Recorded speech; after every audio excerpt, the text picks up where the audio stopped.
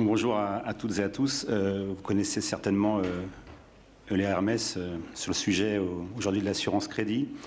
Euh, Hermès, filiale d'Alliance dans le B2B exclusivement, et numéro un mondial donc sur le crédit cover. Donc en fait la prévention, la couverture et recouvrement du poste client. Aujourd'hui donc Hermès assure 780 milliards d'euros de transactions dans le monde, ce qui, en fait le leader, et est également leader euh, sur le recouvrement aussi dans le monde. Aujourd'hui, le sujet, donc, c'est la fraude. Je vais laisser la parole à Michel Van Swieten, euh, qui va donc développer ce sujet. Euh, je pense que si vous avez des questions, vous pouvez également les poser au fil de l'eau pendant la présentation de Michel, si tu en es d'accord. Très bien. Bonjour tout le monde. Nous avons choisi de vous parler fraude, du risque de fraude en entreprise en France aujourd'hui. Pourquoi? Parce que le risque a euh, fortement, euh, considérablement augmenté. Il a même explosé. je vais commencer par les statistiques pour illustrer mon, propos. Nous avons fait une étude avec la DFCG. La DFCG, c'est l'Association française des directeurs financiers et contrôleurs de gestion. Nous avons fait une étude en 2015, c'est le premier chiffre en haut à gauche. 77% des entreprises françaises ont été euh, victimes de tentatives de fraude dans les 12 derniers mois. Donc c'était en 2015. Donc ça s'est passé entre mi-2014 et mi-2015. Alors 77%, euh, je ne sais pas pour vous, mais pour moi, c'est la très grande majorité des entreprises. En fait, ce, qui se passe en France, c'est que les, entreprises euh, sont systématiquement attaqués par, euh, par la fraude, par, par, des fraudeurs. On va revenir en, détail euh, là-dessus. Alors en dessous des 77%, vous voyez que 20%, c'est-à-dire une entreprise sur 5, a été victime d'une fraude. C'est-à-dire que là, on ne parle plus de tentatives, mais on parle d'entreprises qui ont connu une fraude et qui ont perdu de l'argent. Sur le côté droit du, slide, euh, c'est une étude du cabinet PwC qui vient de livrer son rapport annuel sur la fraude. Euh, Price euh, livre un rapport chaque année sur, euh, sur la fraude avec des, des, tas de choses très, très intéressantes. Et vous voyez que 68% des entreprises ont été victimes d'une fraude au cours des, des, 24 derniers mois. Alors, ces chiffres se comparent, comme vous le voulez, avec ceux de la DFCG. Ce qui n'apparaît pas sur le slide, c'est que 68% c'est 2016, en 2015, nous étions, même étude, même, euh, même paramètre, à 55%. Donc c'est une augmentation qui, continue. Et enfin, en bas, 53% des cas de fraude étaient des cas de cyberfraude. Alors moi, personnellement, en matière de fraude ou de cyberfraude, je, ne fais plus la différence. Parce qu'aujourd'hui, dans toute fraude, quelle qu'elle soit, il y a du cyber. Parce qu'il y a un vol de données, il y a un fraudeur qui a mis la main sur euh, un système de messagerie pour préparer une fraude tout à fait classique, tout à fait traditionnelle. Donc je pense qu'aujourd'hui, on peut parler, on peut utiliser les, deux termes, fraude ou cyberfraude, c'est un peu, un peu la, même, chose. Donc 53% euh, sont des, des, cas de fraude sont des euh, cyberfraudes. C'est pas écrit, mais c'était 28% en 2015. Donc là, l'augmentation est encore plus forte des cas de fraude qui sont des cyberfraudes. Alors si vous interrogez les, assureurs en Europe, les assureurs qui assurent le risque de fraude, parce que je le rappelle, et c'est le principal message de, cette conférence, c'est de vous dire euh, la fraude, c'est un risque comme les autres qui s'assure. Vous pouvez vous assurer pour le dommage, contre le protéger vos biens, votre responsabilité, le crédit, la fraude aussi. C'est un produit qui existe, qui est peu connu, qui est moins connu bien entendu, mais qui existe. Et on va en parler tout de suite. Donc si vous interrogez les assureurs euh, qui assurent le risque de fraude, et si vous leur demandez qu'est-ce qu'ils pensent du risque aujourd'hui, ils vous diront que la sinistralité a explosé. On parle de la France et des entreprises tournées vers, euh, vers l'extérieur. La sinistralité a beaucoup augmenté depuis 2010. En 2010, c'est un peu le, début de ces fraudes qu'on appelle les fraudes au président, que vous connaissez tous, dont on va parler brièvement parce que c'est un sujet connu. Les assureurs vous diront que depuis 2010, on parle de, en fraude de sévérité et de fréquence. Ça veut dire qu'il y a de plus en plus de grosses fraudes. La fraude en entreprise a dépassé la fraude en banque. Au départ, les assurances fraudes ne, servaient qu'à protéger les banques, puisque les banques sont très, très exposées en raison de leurs produits, l'argent. Aujourd'hui, il y a plus de fraude en entreprise que dans les banques. Les assureurs fraude vous diront aussi que tous les secteurs de l'économie sont exposés. Il n'y a pas de secteur plus ou moins exposé. Toutes les tailles d'entreprises sont exposées. Ce n'est pas que les, grandes entreprises du CAC 40, c'est absolument toutes les entreprises euh, qui sont exposées euh, à, la fraude. Sinistre moyen, alors ça c'est une, une, donnée qu'il faut prendre avec précaution, c'est le sinistre moyen, c'est-à-dire l'incident moyen qui a été présenté aux assureurs est de l'ordre de 2 millions.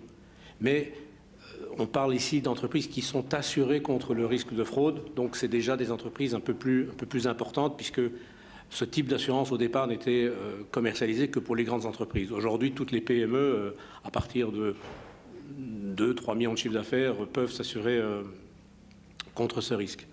Durée moyenne des fraudes internes, parce que je n'ai pas encore dévoilé le sujet, mais quand on parle de fraude, on parle de fraude interne ou externe. Une fraude peut être commise par un, un salarié de l'entreprise qui est encore mieux placé qu'à l'extérieur, mais il y a aussi les fraudes externes. Donc durée moyenne des fraudes internes, 18 mois. Ce qui veut dire que ça permet aux fraudeurs de construire tranquillement sa fraude, de passer à travers tous les, contrôles et de, au final, mettre la main sur euh, ce, gain illicite. Enfin, une dernière donnée qui vient du marché de l'assurance, ce sont les récupérations beaucoup d'entreprises pensent, bah, déjà elles pensent que ça ne peut pas leur arriver, je pense que c'est le cas pour, vous. Les entreprises pensent que ça n'arrive qu'aux autres. Bon, je pense que les autres, un jour, ça peut devenir euh, vous-même. Mais on, pense aussi qu'on peut récupérer de l'argent qui a été détourné, d'une manière ou d'une autre. On peut voir avec sa banque si la banque n'a pas un petit peu de responsabilité dans ce qui s'est passé. On va euh, porter plainte contre l'auteur de la fraude. Euh, bon, ben, tout ça, c'est de la pure théorie parce qu'en pratique, on récupère Très très peu. Le marché dit 10%. Moi, personnellement, je pense qu'on est plutôt entre 0 et 5%. Parce que l'argent est, dépensé. Et quand il n'est pas dépensé, il se trouve à des endroits où vous n'avez pas accès. Vous voyez un peu dans des pays plus protecteurs.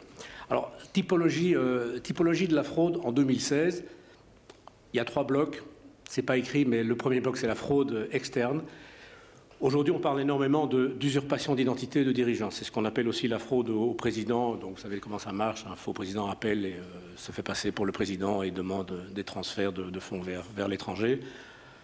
Alors aujourd'hui, ce type de fraude continue à exister. Euh, nous rencontrons régulièrement des entreprises victimes de ce type de fraude. Si vous en parlez à des entreprises, on vous dira mais non, c'est pas possible que ça arrive chez moi. Tout le monde connaît bien le président. Euh, de toute façon, euh, il y a une double signature, etc., etc. Oui, de nouveau, c'est de la théorie parce qu'en pratique, euh, ces fraudes peuvent arriver euh, absolument partout. À côté de la fraude, de l'usurpation d'identité des, dirigeants, il y a l'usurpation d'identité des fournisseurs. Ce sont des, escrocs qui se font passer pour des fournisseurs et qui prétendent avoir changé de banque. Et, ils vous demandent de payer leur facture vers ce nouveau compte bancaire qu'ils ont ouvert ailleurs. En général, c'est en dehors de, France. C'est un, type de, fraude qui fonctionne extrêmement bien en France et qui fait de très nombreuses victimes. Plus spécialisé, il y a l'usurpation d'identité d'acheteurs, faux, clients par exemple. Je vais vous donner un, exemple tout à l'heure, euh, et vous verrez que ça peut arriver absolument euh, partout. Mais sachez que l'usurpation d'identité est, vraiment euh, c'est le type de fraude en vogue pour l'instant. À côté de la fraude, tout ça c'était la fraude externe, à côté de ça il y a la fraude interne, commise par des gens de l'entreprise. Et là ce sont des choses beaucoup plus euh, classiques, beaucoup plus traditionnelles, les détournements de fonds, le comptable qui détourne de l'argent. Alors c'est pas que dans les films ou dans les livres, ça se passe aussi dans les entreprises. Donc détournement de recettes, ben, c'est l'argent qui doit des ventes qui doit arriver dans l'entreprise, mais qui est détourné avant, avant réception. Détournement de marchandises, bien entendu, on, on détourne dans les entreprises de tout, absolument de tout. Des fausses factures qui sont introduites dans le, dans les cycles comptables et qui font l'objet de paiements à des, à fournisseurs euh, complices éventuellement. Puis alors il y, a, la corruption. Donc la corruption, c'est un fournisseur qui va euh, tenter de corrompre un acheteur dans une entreprise pour obtenir le contrat. Euh, c'est de la fraude, puisque il peut arriver que l'entreprise paye des produits ou des services à un prix surfacturé. Et eh bien la différence entre le prix normal et la surfacturation, ben, c'est ce qu'on appelle de la fraude. L'entreprise est victime, a une perte, elle est victime d'une fraude. Enfin, il y a les atteintes au système, euh, plus communément appelées la, cyberfraude, mais je vous ai dit que j'essayais de ne plus faire la, distinction. Alors là, on trouve le, déni de service. Le déni de service, c'est un, type d'attaque assez complexe quand même, mais qui revient à, paralyser le système de l'entreprise. Et l'entreprise ne peut plus fonctionner. Imaginez une société de transport. J'ai connu un cas il y a quelques, quelques semaines. Entreprise de transport, une quinzaine de camions système paralysé suite à une attaque déni de service, l'entreprise ne peut plus faire bouger les camions, donc avec des pertes importantes. Vol de données, bien entendu, extorsion, cyber-extorsion, rançongiciel. Alors, rançongiciel, ce sont des, virus nouvelle génération qui, qui vont par exemple, il y a plusieurs variantes, mais euh, qui vont, par exemple, euh, crypter les données de l'entreprise. Et puis, une fois que l'encryption euh, ou l'encryptage est en, place, eh bien, l'escroc va envoyer un mail en disant Vous me versez 10 000 euros et je vous donne la clé pour débloquer. Alors, si vous payez, vous n'êtes pas malin déjà parce que rien ne vous garantit que l'escroc ne reviendra pas le lendemain. Donc, ce qu'il faut faire, c'est pas payer, c'est plutôt, essayer de s'en sortir, prendre un prestataire et pour, en sortir pour casser la clé d'encryption. Détournement de messagerie, donc c'est aussi du vol de données, mais le détournement de messagerie est devenu euh, très facile malheureusement, mais euh, très euh, courant, puisque ça vous permet, comme je disais tout à l'heure, ça permet aux fraudeurs de, de préparer une, autre fraude. Il y a les virus, il y en a encore. il y a des virus plus sophistiqués comme un keylogger. Un keylogger, c'est un, virus qui va, une fois installé sur votre ordinateur, ça c'est tout à fait indolore, insensible, invisible, euh, va euh, voir les mots de passe que vous tapez dans le, dans le système. À votre écran, ce sont des petits points, des petites étoiles qui, apparaissent, mais avec le keylogger, le, virus va voir les caractères, euh, chiffres et lettres qui sont tapés sur le clavier et va pouvoir les renseigner à la personne qui, vous a gentiment envoyé le, virus. Donc ça, c'est un peu ce qui se fait aujourd'hui, typologie des fraudes 2016. Alors, on, nous demande souvent, est-ce qu'il y a des profils à risque? Est-ce qu'il y a des entreprises plus, euh, plus exposées? Alors je vous donne déjà la réponse. La réponse est ben, à 99% non. Il n'y a pas de, secteur euh, surexposé ou sursinistré en matière de fraude. Par contre, il y a peut-être un profil à risque sur les entreprises à, croissance rapide, des jeunes entreprises à croissance rapide, parce que quand on croit rapidement, la priorité, c'est le développement, c'est les, ventes, c'est le, le, front office, c'est tout ce qui rapporte de l'argent. Et le reste, l'infrastructure, la sécurité, euh, la sécurité interne, tout ça passe après, ce qui fait que ces entreprises sont vraiment des, cibles et des proies faciles pour les fraudeurs. Euh, croissance rapide, notamment à l'international, et je reviendrai plus longuement euh, là-dessus. Bien entendu, le, côté international décuple le, risque. Les groupes décentralisés, les groupes qui ont des filiales en France et, à l'étranger, je le redirai plus tard, mais parce que c'est plus compliqué, c'est plus difficile de, contrôler une filiale à, distance. Les fraudeurs le savent, qu'ils soient internes ou externes. Les entreprises multi-activités, si vous prenez une entreprise qui ne fabrique que des pneus, sans, la citer, euh, bien qu'ils ont été victimes de fraude aussi, mais vous prenez une entreprise qui ne fabrique que des pneus, d'un point de vue euh, contrôle de gestion, suivi des chiffres, tableau de bord, etc., ce sera peut-être plus facile de détecter une fraude, par exemple une fraude interne. Par contre, quand vous êtes une entreprise qui est un groupe, une holding qui détient euh, des participations dans, euh, toute, une, série d'entreprises, les activités sont différentes, ce sera plus difficile euh, d'identifier un, dérapage dans, les chiffres. Fusion-acquisition, ce sont des, des, périodes à risque en matière de fraude, parce que quand on achète une entreprise, en général, on, on fait des petites vérifications au départ, on fait ce qu'on appelle une due diligence, mais on regarde surtout les chiffres et les, marchés potentiels, etc. Par contre, ce n'est qu'après, une fois qu'on devient propriétaire de, l'entreprise, qu'on va commencer à regarder ce qui se passe dans les, dans les, dans les placards et dans les tiroirs, et c'est là qu'on peut trouver des, des gros, euh, des, gros problèmes. Donc, ce sont des périodes à risque, euh, tout ce qui est fusion-acquisition. Transformation numérique hasardeuse. Alors ça, c'est un point que j'ai rajouté très, récemment, mais on, observe des entreprises qui se sont lancées dans leur, euh, mutation euh, numérique, comme ça doit être le cas pour beaucoup d'entreprises, mais qui l'ont fait de façon peut-être un peu hasardeuse ou un peu, un peu rapide. Alors tout est dématérialisé du jour au lendemain, tout par le web, tout est en ligne. Et puis on oublie bah, des choses essentielles, on oublie la, sécurité au niveau des systèmes, surtout la sécurité au niveau des données ce qui veut dire que ça, va accroître fortement le, risque. Ce qu'il faut retenir du, slide, c'est vraiment qu'il n'y a pas d'entreprise euh, immunisée. Alors, fraude en entreprise à l'international, comme je vous l'ai dit, le, côté international euh, décuple le risque.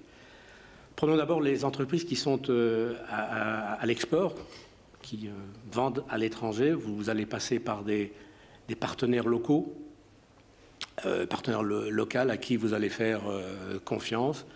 Euh, il y en a à qui vous pouvez et à d'autres à qui vous déconseillez de, de faire confiance. Et c'est là que je, je vais vous parler d'un exemple très récent.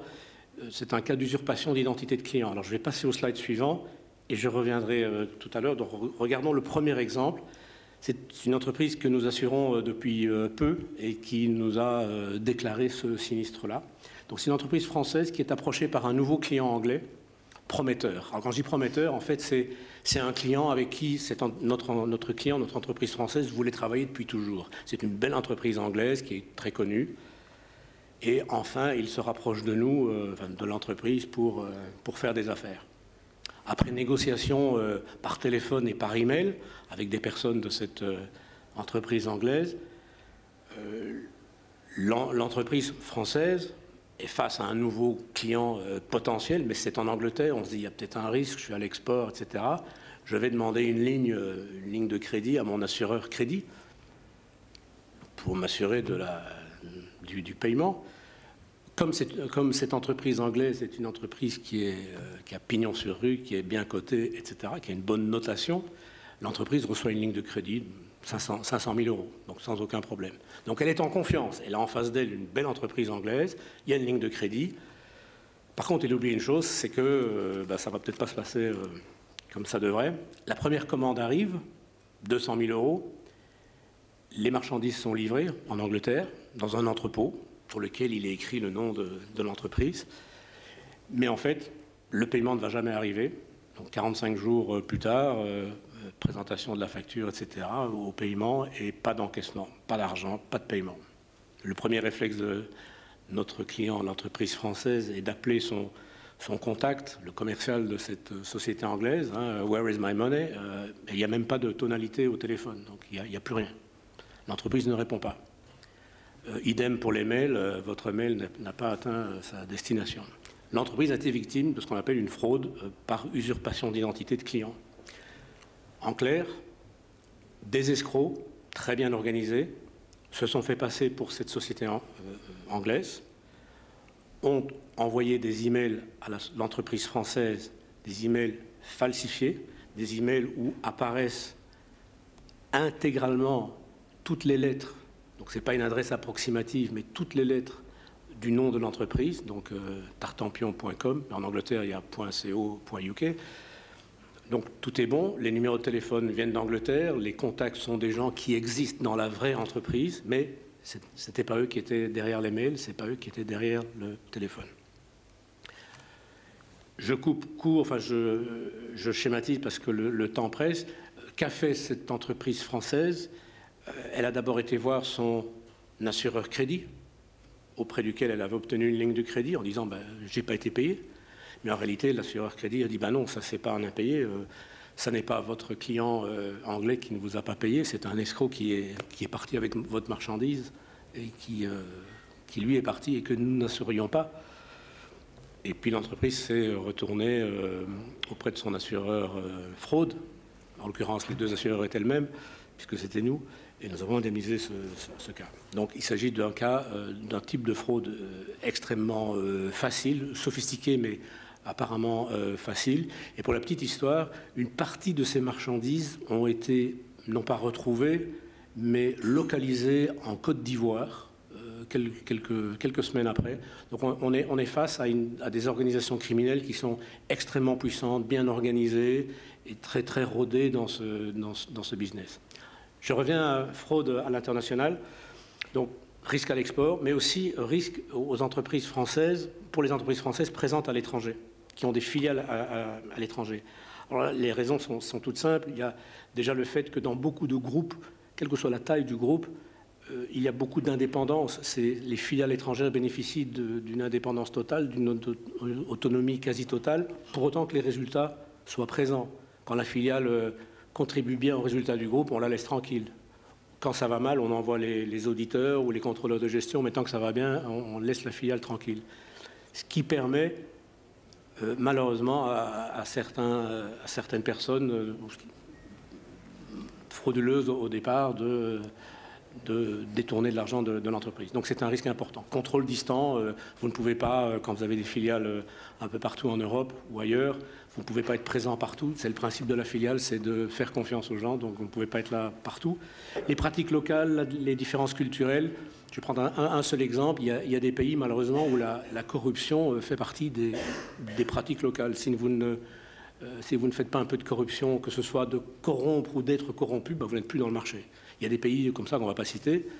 Je ne me permettrai pas de, le faire, mais euh, ça, accroît fortement le, risque de fraude. Puis il y a les pays à très haut risque euh, qu'on ne va pas citer non plus, mais que tout le monde, tout le monde connaît. Je reviens avec quelques exemples parce que c'est ce que c'est ce que tout le monde aime bien en général. Donc le premier exemple, je voulais euh, détailler.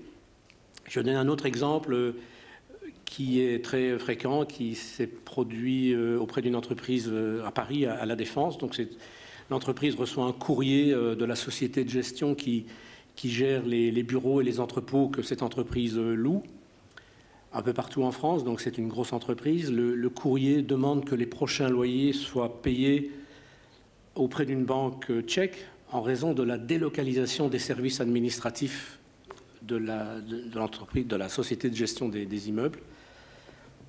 Euh, le loyer trimestre du prochain trimestre est, payé. Il y en avait pour 300 000 euros. Et euh, bah, c'est la fin de l'histoire. Vous avez déjà compris ce qui s'est passé. L'entreprise a été victime d'une usurpation d'identité de cette entreprise de, gestion. Donc l'argent est parti, terminé, etc. J'ai personnellement pu voir les pièces qui avaient été reçues. Ce sont des documents qui sont on parle même plus de falsification, ce sont des, vrais faux ou des faux vrais, je ne sais pas ce qui est plus appropriés, mais c'est des documents qui sont absolument impossibles à, dont il est impossible de détecter le, caractère faux. Alors j'ai écrit aussi, euh, notez bien, compte de rebond en, France. Dans beaucoup de fraudes, dans toutes ces fraudes au virement, euh, on parle souvent de, comptes bancaires, de virements vers euh, la Lituanie, la Roumanie, les pays baltes en, général, l'Europe de l'Est et bien entendu la Chine. Sachez que aujourd'hui, les sont capables de faire des virements frauduleux vers des comptes ouverts en France. Ce qui est beaucoup plus facile pour eux parce qu'ils savent qu'aujourd'hui, les entreprises font plus attention euh, à leurs virements euh, étrangers, surtout quand c'est hors euh, Europe. Les, escrocs ont compris cela et aujourd'hui ouvrent des comptes, ce qu'on appelle avec des mules, c'est-à-dire des gens qui sont payés, ou avec des faux papiers, c'est encore plus simple, mais donc ce sont des gens qui sont payés pour ouvrir des comptes en banque et puis l'argent part vers ces comptes en France et là il y a moins de, vigilance parce que c'est français. Donc l'argent arrive dans ce compte de rebond et puis à ce moment-là part directement vers l'étranger, vers, la, Chine éventuellement et en Chine il est euh, aujourd'hui très très compliqué de récupérer de l'argent. Si vous ne le faites pas dans, les heures qui suivent la découverte de l'incident, vous pouvez euh, simplement faire une croix dessus. La, coopération euh, des, des, polices judiciaires est extrêmement compliqué. Puis bon, la Chine est un pays tellement grand, c'est extrêmement compliqué de récupérer de l'argent. Un, autre exemple, je vous dirai après euh, pourquoi j'ai choisi cet exemple, c'est le responsable logistique d'une filiale d'un groupe français. Donc on est en Europe, mais hors France, dans un groupe français.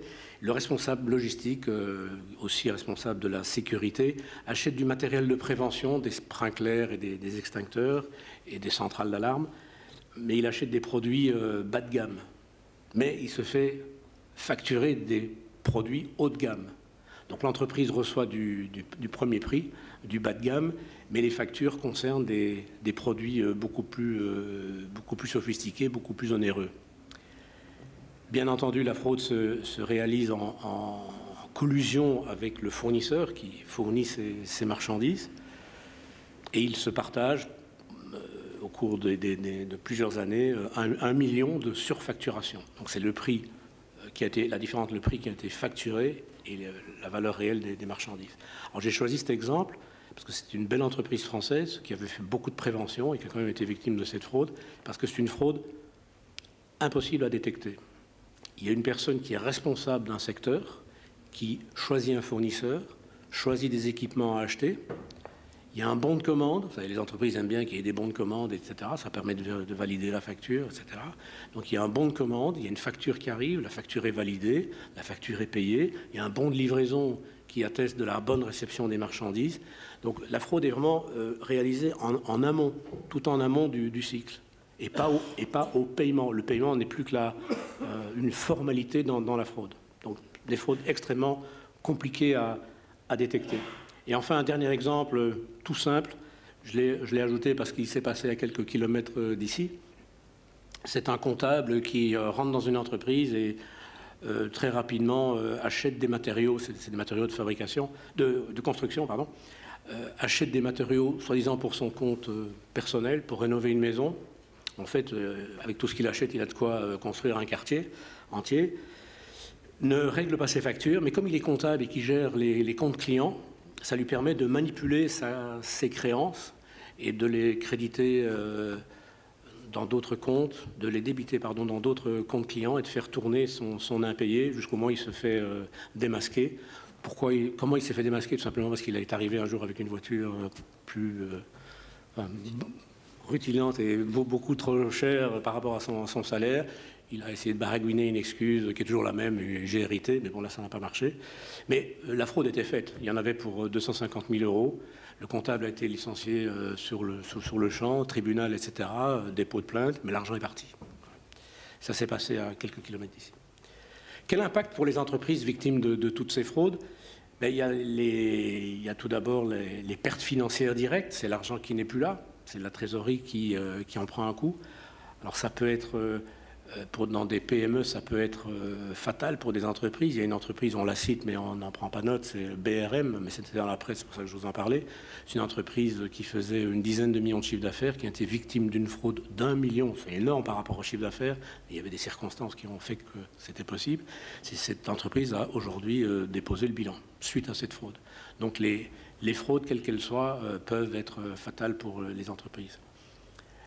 Réputation de l'entreprise, quand vous êtes victime d'une fraude, mais en général, ça se retrouve le lendemain dans, la presse. On ne sait jamais comment ça, va aussi vite. Moi, je pense personnellement que c'est la police, mais bon, ils ne seraient pas contents de l'entendre. Mais c'est quand on porte plainte qu'en général, ça se, retrouve dans le journal euh, très très rapidement. Donc la réputation de l'entreprise peut être mise à mal. Ça ne fait, pas, bon genre d'être euh, pris dans, un cas de fraude. Euh, traumatisme humain, alors, euh, c'est quoi? Ben, bon, vous imaginez une entreprise, une, fraude interne, c'est vraiment euh, c'est un véritable désastre sur le, plan humain. C'est en général des gens à qui on faisait confiance, et puis ces gens ben, euh, ont, trompé, ont abusé de votre, de votre confiance. Et quand on est victime d'une fraude aussi, passez-moi l'expression, mais aussi stupide qu'une fraude au faux président, on n'en est pas très fier et c'est toute la sécurité interne, toute la confiance que l'entreprise a en, elle-même euh, qui, peut s'écrouler. Et puis, toujours dans le traumatisme humain, le, gros problème que l'on constate souvent, euh, nous intervenons en tant qu'assureur fraude, nous intervenons très rapidement euh, auprès des entreprises pour les, aider, mais les entreprises sont souvent démunies. Que faut-il faire en cas de fraude? Que faut-il faire dans les heures qui suivent la découverte? Je ne vais pas parler de minutes, mais ça pourrait aller jusque-là. Mais est-ce qu'il faut appeler la police? Est-ce qu'il faut euh, à qui euh, Où faut-il porter plainte, euh, etc. surtout quand la fraude se passe hors, hors France, parce qu'il y a des, entreprises qui, qui, vous disent ah mais moi je vais accumuler un maximum de preuves. Je parle pour une fraude interne par exemple. Je vais accumuler beaucoup de preuves. Je vais laisser le faire le le, comptable qui est en train de me détourner de l'argent, et puis quand j'aurai assez de preuves, je, porterai plainte. Ben, dans certains pays, vous faites ça et ça ne marchera pas. Hein. C'est le, le, fraudeur lui-même qui va se retourner contre l'entreprise euh, euh, parce qu'on était un peu dans sa vie privée, etc. Donc il faut faire extrêmement euh, attention. Donc, traumatisme humain, pourquoi? Parce que les entreprises ne sont pas préparées à vivre un cas de fraude. Et en fait, il y a des conséquences indirectes. Il n'y a pas que la trésorerie, il n'y a pas que l'argent qui est détourné. Il peut y avoir de la perte d'exploitation, il peut y avoir euh, des, tas de choses qui, font que l'entreprise va continuer à perdre de l'argent. Vous êtes venu pour entendre des solutions, on va commencer à en parler. Comment faire pour se prémunir du risque de fraude? Mais comme tout risque, si vous regardez la, définition de la gestion de risque, c'est quoi la gestion d'un risque? Ben, Dans tous les manuels, on vous dira, c'est la prévention et l'assurance. On dit aussi le financement du risque, mais le financement du risque, c'est euh, acheter de l'assurance. Donc la prévention, c'est ce que nous recommandons, bien entendu, à tous nos, assurés. D'ailleurs, nous les aidons dans euh, leurs efforts de, prévention. La prévention, c'est essentiel, parce que c'est un risque tout à fait particulier. Euh, il n'existe pas de manuel euh, comment se protéger de la fraude. Hein. Pouvez faire un tour sur, Internet, il n'y a, pas de, a pas de référentiel en matière de fraude. Il y a eu quelques tentatives, le livre blanc de la fraude, etc., mais il n'y a pas grand-chose en, réalité. Alors la prévention, c'est quoi? La première chose, c'est la sensibilisation du personnel. Quand on dit sensibilisation du personnel, c'est absolument toutes les personnes de l'entreprise, à commencer par la, personne qui, est à la réception, qui reçoit des clients, qui reçoit des fournisseurs, la personne qui est au téléphone, euh, dire à cette personne que bah, le risque de fraude existe, lui donner des exemples, etc.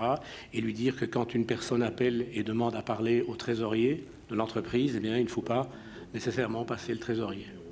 Euh, c'est plus comme ça que ça marche aujourd'hui. Il, y a des risques importants. Il faut, il faut être extrêmement prudent, extrêmement vigilant par rapport à, ce nouveau risque, on va dire nouveau, même si ça fait plusieurs années.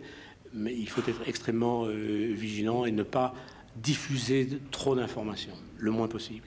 Donc sensibilisation du personnel et bien entendu, à côté de ça, il y a des choses à faire dans les procédures de l'entreprise. Euh, une entreprise qui est parfaitement équipée sur le plan du contrôle interne, toutes les procédures, les validations, les doubles contrôles, les doubles signatures, si tout est en place, c'est déjà bien, mais on peut aller plus loin parce que le risque de fraude est très particulier. Donc il faut vraiment aller rechercher les, contrôles qui vont permettre de se, protéger. Sur le plan cyber, il y a des protections à mettre en place. Ce n'est pas l'objet de cette conférence, mais il y a des tas de choses à faire, des pare-feux, des antivirus. Alors il y a antivirus et antivirus. Il y a antivirus performant, mis, à jour euh, en, temps réel. Et puis il y a des antivirus euh, gratuits qui ne, valent pas grand-chose. Donc il faut, mettre des, choses en place, il faut analyser les flux, etc., de manière à pouvoir détecter les attaques. Mais la sensibilisation, probablement le point le plus important. En matière de fraude, le, risque zéro n'existe pas. je fais un parallèle avec le risque de crédit que vous connaissez probablement mieux. Mais en risque crédit, vous pouvez arriver au risque zéro. Si vous livrez uniquement contre paiement, cash, contre paiement à la livraison, euh, votre risque de crédit, bah, il tombe, il est proche de zéro. En fraude, vous n'arriverez jamais à, quelle que soit la qualité des procédures, quelle, que soit la, qualité des procédures de recrutement du personnel, etc., vous n'arriverez jamais au risque zéro parce que les fraudes sont toujours euh, euh, imprévisibles. Quand on est victime d'une fraude interne, pour en avoir connu euh, beaucoup auprès d'entreprises en France et, en, Europe, la première réaction, c'est de dire on n'aurait jamais cru ça de cette personne. C'est toujours la, dernière personne à laquelle on, aurait pensé. Donc c'est imprévisible. en matière de fraude externe, donc toutes ces tentatives, etc., le, gros problème, et surtout en France, c'est que les entreprises considèrent que ça ne peut pas leur arriver. Euh, quand je parle d'assurance euh, contre la fraude aux entreprises françaises, on nous dit toujours, mais non, chez nous, ça ne peut pas arriver. C'est vraiment écrit, euh, ils en sont absolument certains. Par contre, il y a les statistiques qui montrent un peu le, souvent le contraire. Donc, gestion du risque de fraude, prévention, gros, gros point. Et puis, on peut aussi limiter les conséquences avec l'assurance fraude, dont je vous parle tout de suite. Alors, pourquoi, euh, alors c'est pas écrit, mais c'est pour la petite histoire, c'est pour introduire le, sujet, pourquoi Euler Hermès, euh, leader euh, mondial de l'assurance crédit, distribue aussi de l'assurance fraude en France La raison est toute simple. Pas toute simple, mais il se fait qu'en Allemagne, où Euler Hermès a une très très grosse filiale, je pense que c'est la première ou la deuxième du, groupe Euler Hermès, le produit fraude est distribué en Allemagne depuis une trentaine d'années. Et euh, à ce titre-là, avec l'activité euh, assurance fraude en Allemagne, l'ARMS est le plus gros assureur fraude en Europe. Donc c'est vraiment euh, cette expérience de plus de 30 ans en Allemagne qui a incité l'ARMS France à commercialiser un produit en France. Donc c'est l'expérience allemande qui a motivé le, groupe pour lancer ce produit en France. Et puis c'est aussi le fait que comme je vous l'ai montré à travers des, différentes statistiques, statistiques, que le risque a explosé en France et qu'il y avait un véritable besoin euh, dans les entreprises françaises. Donc nous sommes partis d'une feuille blanche et nous avons conçu un contrat d'assurance contre la fraude pour les entreprises françaises. Je ne rentre pas dans les détails du contrat, c'est un contrat, c'est des petits caractères, il y a des juristes qui sont passés par là, donc c'est de l'assurance, mais c'est un contrat de dommage qui assure, pour faire simple, je résume, c'est un contrat dommage qui couvre les entreprises contre les conséquences des fraudes et des cyberfraudes. C'est un contrat qui assure, qui assure le, risque du siège et des filiales. Donc c'est ce qu'on appelle un contrat groupe qui assure les filiales aussi les filiales de, l'entreprise. Alors il y a quatre volets dans ce contrat d'assurance. Il y a tout d'abord le volet fraude interne. Maintenant, vous savez ce que c'est, on en a parlé. Donc, ce sont les détournements, les abus de confiance euh, dont pourrait être euh, victime l'entreprise. Donc, c'est des fraudes commises par des, des salariés de l'entreprise. Le deuxième volet, c'est la fraude externe. Alors, c'est un peu la même chose, mais ce sont des fraudes commises par des personnes externes à l'entreprise. Donc, ce sont notamment euh, tous ces cas d'usurpation d'identité, les faux présidents, les faux fournisseurs, les faux clients et les faux euh, que sais-je, parce que ça, continue à se, développer. Le troisième volet, c'est la cyberfraude. Alors là, le volet cyberfraude couvre les conséquences directes d'intrusion dans les systèmes, intrusion qui se terminerait par un virement électronique frauduleux. Donc la, définition du contrat, c'est euh, les dommages suivis subis par l'entreprise suite à une intrusion frauduleuse euh, dans les, par exemple, les systèmes de trésorerie de l'entreprise. Aujourd'hui, les banques euh, commencent à proposer, avec un peu de retard, mais les banques françaises commencent à, proposer des systèmes de trésorerie avec, euh, par exemple, un protocole EBIXTS qui permet de, signer électroniquement les, paiements. Ces systèmes ne sont pas encore parfaitement étanches et le, risque de, cybercriminalité existe. Et puis, comme je vous l'ai dit tout à l'heure, les, fraudeurs euh, préparent euh, leurs actes euh, avant de commettre la fraude, vont obtenir des informations, vont, se mettre, vont mettre des personnes en confiance, etc., ou se font passer pour d'autres, etc. Ce qui fait que s'il leur manque une information comme un mot de passe, ils vont l'obtenir d'une manière ou d'une autre, ils arriveront à rentrer dans le système et à faire des virements frauduleux. Le volet cyberfraude du contrat couvre aussi, alors ça ne va, peut-être pas vous parler directement, mais je vais vous expliquer très rapidement, les atteintes au système de téléphonie. Aujourd'hui, la plupart des entreprises, je pense qu'on est à 99%, mais utilisent des systèmes de téléphonie relativement euh, sophistiqués, qui sont en fait des ordinateurs.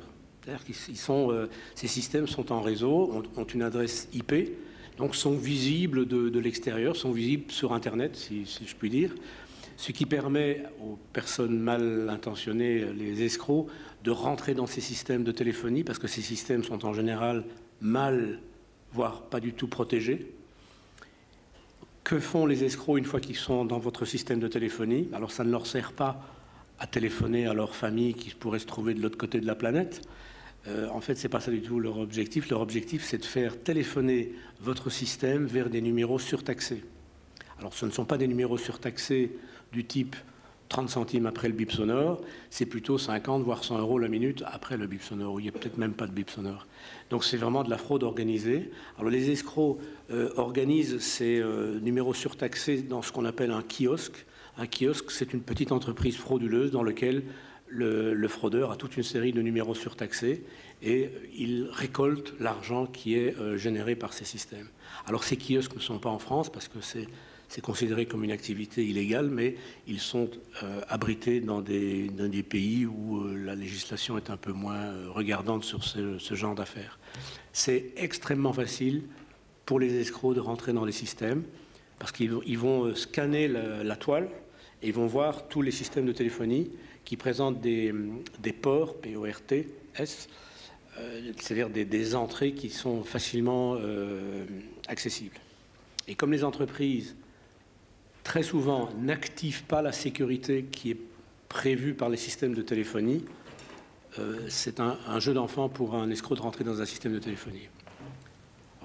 Je ne dis pas toutes les conférences, mais il se fait que les euh, une de nos agences, l'agence de Montpellier, euh, il y a quelques mois, a été victime d'une fraude de ce type-là.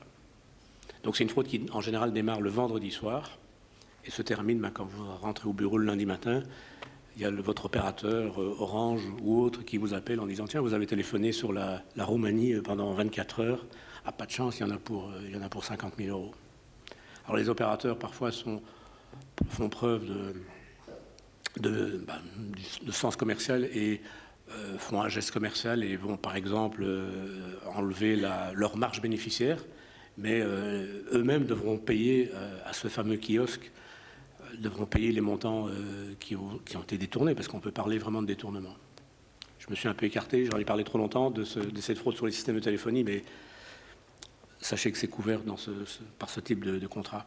Il y a aussi des frais de communication en cas d'atteinte aux données euh, personnelles. Ça veut dire quoi? Ça veut dire que quand une entreprise est, euh, si l'entreprise gère ou héberge des, données à caractère personnel, les caractères personnels, c'est des noms, des adresses de personnes ou d'autres données de personnes.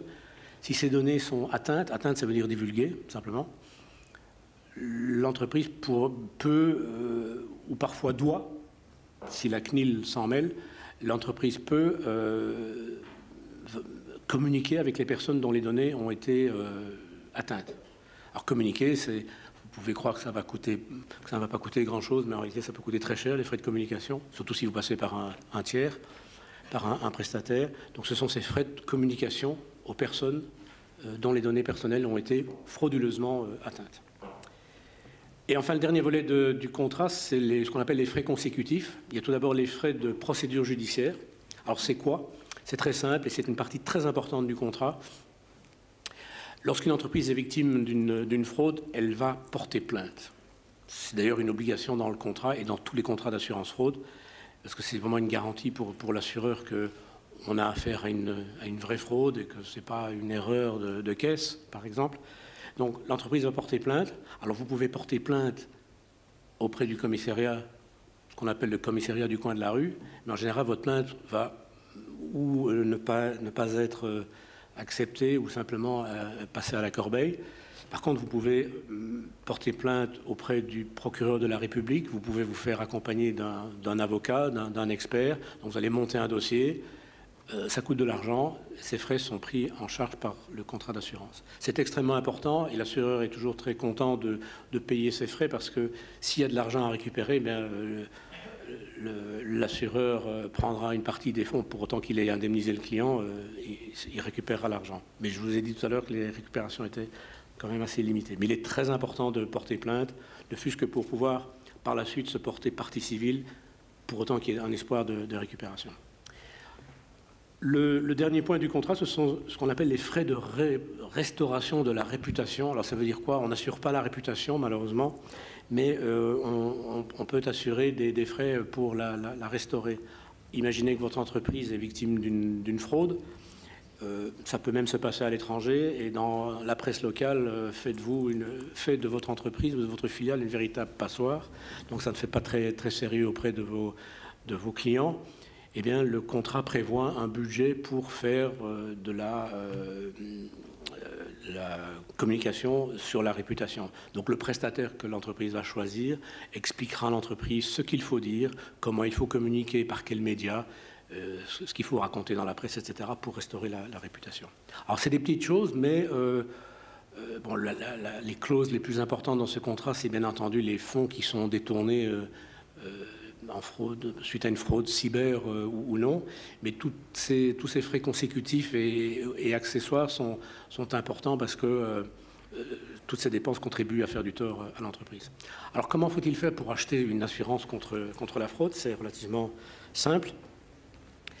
Il faut définir son besoin de couverture. Alors ça, je ne rentre pas dans, les détails, mais sachez qu'une entreprise va acheter une protection en rapport de sa taille.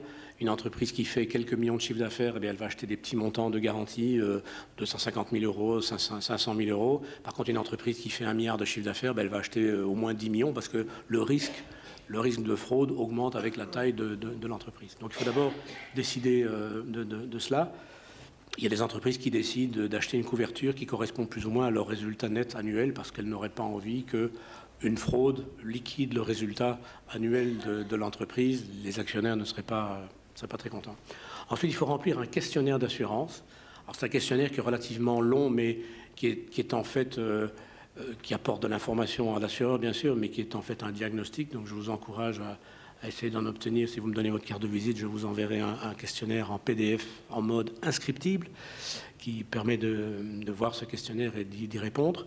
Donc c'est un questionnaire qui fait un peu le tour du risque et des, mesures de prévention qui devraient être en place dans, une entreprise. Donc c'est un questionnaire qui est intéressant, ça vaut la peine de, le remplir. Et puis c'est absolument sans engagement. Et suite à, ce questionnaire, euh, vous recevrez une offre de, l'assureur qui vous dira, ben voilà, pour votre entreprise, pour ce, niveau de garantie, ça vous coûtera, ça vous coûtera autant.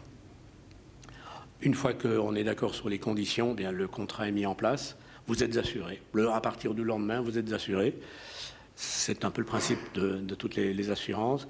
Et ici, on ne le voit pas bien malheureusement, mais euh, au moment où le contrat est mis en place, on déclenche un, accompagnement prévention, c'est-à-dire qu'on va aider l'assuré dans, euh, dans, sa démarche de, prévention. On va lui rappeler toutes les bonnes pratiques en matière de prévention fraude. On va, on va parler avec le client. D'ailleurs, déjà, on peut remplir le questionnaire ensemble par, par téléphone. Beaucoup de clients qui apprécient euh, cela. Ça permet vraiment d'avoir un échange sur le, les aspects de prévention. Je suis dans les temps. Hein. Un dernier euh, slide pour résumer tout ce que je viens de dire. Donc, quels sont les points forts de l'offre euh, assurance fraude de l'air Hermès ben je, vais me répéter, hein, c'est l'expérience, le savoir-faire de l'air Hermès en la matière. La couverture immédiate des différents types de fraudes dans les filiales euh, de, l'entreprise, des principales conséquences de, ces fraudes. Une prime d'assurance adaptée à l'entreprise. Alors on parle de primes qui sont extrêmement basses pour une PME, euh, c'est quelques milliers d'euros, ça peut monter à quelques dizaines de milliers d'euros pour les, pour les très grandes entreprises. Donc c'est des, c'est des primes d'assurance, et c'est important à signaler, qui, rapportées au chiffre d'affaires de l'entreprise, ne, ne, représentent même pas des pourcents et même pas des pour mille du, chiffre d'affaires. C'est vraiment des, du 0, quelque chose pour, pour mille.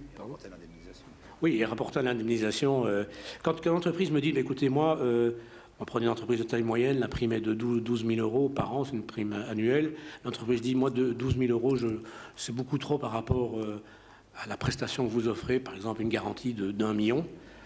Eh bien, faites le calcul, euh, ça, veut dire que il faut, euh, bon, je n'ai plus le calcul en tête, mais ça veut dire que vous allez être certain que pendant les 60 ou les 90 années qui suivent, vous n'allez pas avoir de fraude.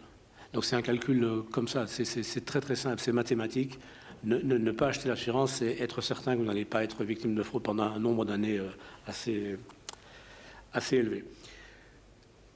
Absence de franchise fixe. Dans beaucoup de contrats d'assurance fraude, il y a une franchise qui peut être de 25 000 euros, 50 000 euros, 100 000 euros, ce qui veut dire que tous les incidents fraude en, de, ça, de ce montant, ne sont pas pris en compte par l'assureur. Chez Euler Hermès, c'est une franchise variable, c'est-à-dire que tous les sinistres, tous, non, presque, je vais expliquer le presque, tous sont euh, indemnisés à concurrence de 80%. Donc l'assureur paye 80% de l'incident. Vous êtes victime d'une fraude de 1 million, on paye 800 000 euros. C'est simple que ça. Alors tous les sinistres, non. Il y a un seuil de déclenchement. Ce n'est pas une franchise, un seuil de déclenchement de 7 500 euros, qui est plutôt un seuil administratif. On n'a pas envie de régler des, des fraudes de, 3-4 000 euros, il y aurait plus de frais de dossier et d'experts que de, que, de pertes. Donc une fraude de 8 000 euros est prise en compte. On ne déduit pas les 7 500 euros. On va indemniser une fraude de 8 000 euros. On va indemniser 80% soit 6 400 euros. Gestion très rapide des sinistres. La fraude est déclarée, le sinistre est pris en main, l'assureur accompagne l'assuré dans, toutes les démarches post, euh, je veux dire post-mortem, mais peut-être pas encore, euh, post-fraude. donc, euh, quelles sont les premières choses à faire immédiatement? Et comme je vous l'ai dit tout à l'heure, la, la, veille des bonnes pratiques en matière de, prévention, c'est-à-dire que nous accompagnons nos, assurés dans leur démarche de prévention.